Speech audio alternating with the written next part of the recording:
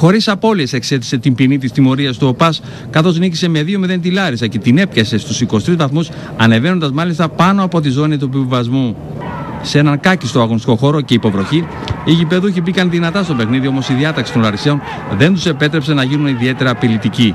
Στον γκολ πάντως πλησίασαν στο 18ο λεπτό όταν σε γύρισμα του Σίσης μέσα στην περιοχή ο Μιχαλόπουλος υποπίεσε, σούταρε ψηλά και άστοχα.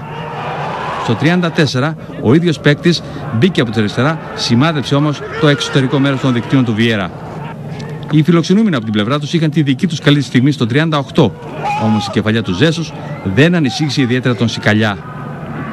Στις αρχές του δεύτερου ημιχρόνου και στο 51, η ομάδα του Μαρίνου Ζουνίδη έχασε τη μεγάλη ευκαιρία να προηγηθεί με τον νεαποκτηθέντα Μπλάζεκ, ο οποίος νικήθηκε από τον Σικαλιά.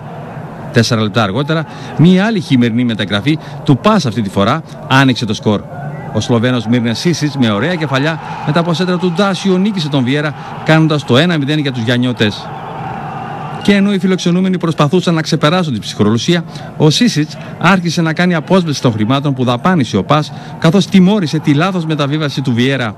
Δέχτηκε την μπάλα από τον Τζάνι και με δεξί πλασέ στην απέναντι γωνιά διαμόρφωσε το 2-0 που έμελε να είναι και το τελικό σκορ της αναμέτρησης, καθώς το 88 ο Μπακαγιόκο δεν κατάφερε να σκοράρει από πολύ κοντά.